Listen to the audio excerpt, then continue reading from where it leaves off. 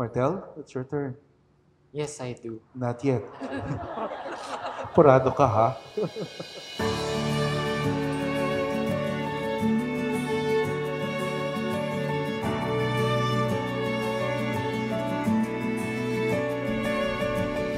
Thank you po.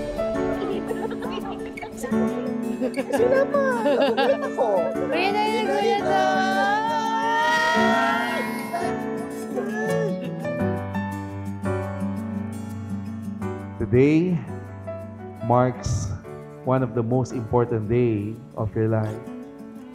Your wedding day. Oo. Ay, agad ang anak.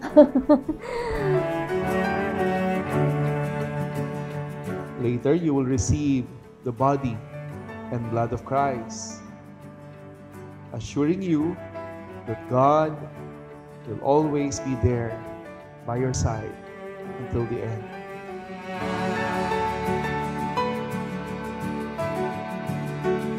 Love, thank you for being part of my life. Today you will be my wife.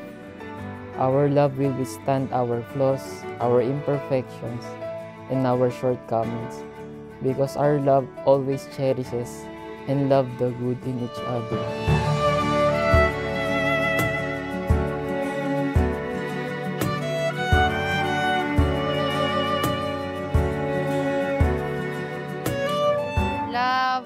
Take this gift as a token my appreciation for you. I hope when you're wearing this, it reminds you the happy moments you have spent and the challenges that we had fought and outlast together. Looking forward for more stories and memories brings with you. Love, Martin. Na,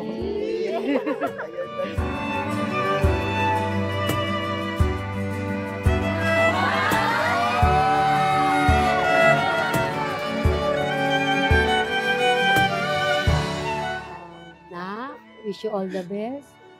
Whatever happens, dito lang kami ni Papa mo. Love you very much. Best wishes. lucky you're entering a new stage of your life. And always remember, there'll always be our Vanilla. Thank you.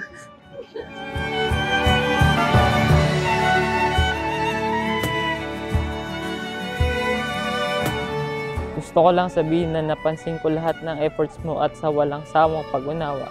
I'm so grateful na meron akong ikaw. Thank you for everything.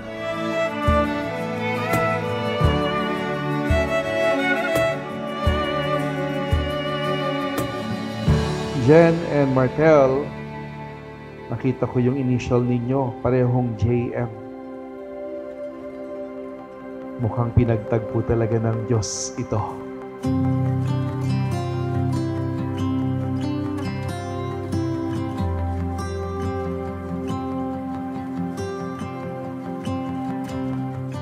Jen, do you take Martel here present as your lawful husband according to the right of our Holy Mother, the Church? Yes, I do. I've been searching my whole life for you. Never knowing where it If your love for one another is your experience of God's love for both of you, that love can become unconditional. Kasi ganun tayo minahal ng Diyos. No condition, no limits, no string attached. every moment still a mystery. Do you give yourself to Him as His lawful wife? Yes, I do. Do you accept Him as your lawful husband? Yes, I do. For the first time, I can finally see. Panyo yan. Ah, paano ba Pan-design to? Ah, aesthetic. Oo, aesthetic. Every path has led me straight to Lord God, uh, please guide our marriage. Help us to fight all the struggles and problems that we will encounter and and thank you for everything. Thank you for guiding us to this wedding. Thank you for everything and bless us all throughout to our marriage na maging strong lang and we will fight for each other.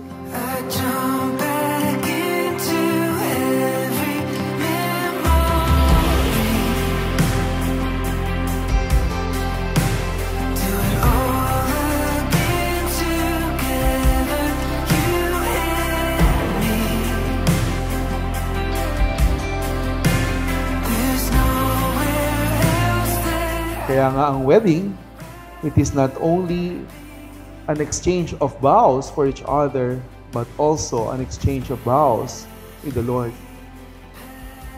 Kaya mahalaga yung sakramento sa buhay nating mga Katoliko kasi hindi kaya ng lakas ng tao yung pagsubok ng buhay.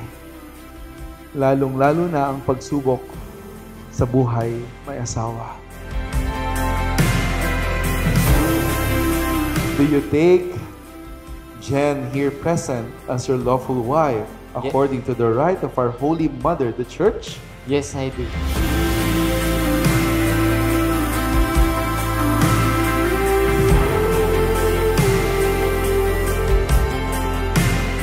Ah, Mapa, thank you sa sa support. Basta thank you sa lahat. I love you. I love you. our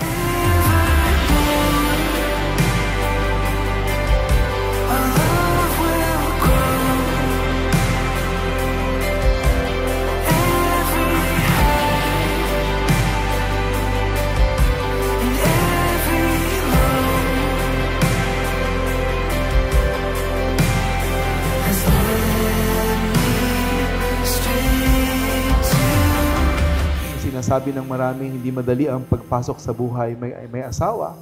Totoo yun. At hindi yun kaya ng lakas ninyo. But today, as you receive the sacrament, this is God's assurance for both of you not to be afraid because He will be with you until the end. Kaya ang pakiusap ko sa inyo, Mamia, Martel, and Jen, huwag niyong iwanan si Jesus dito, ha? Bring Him with you. You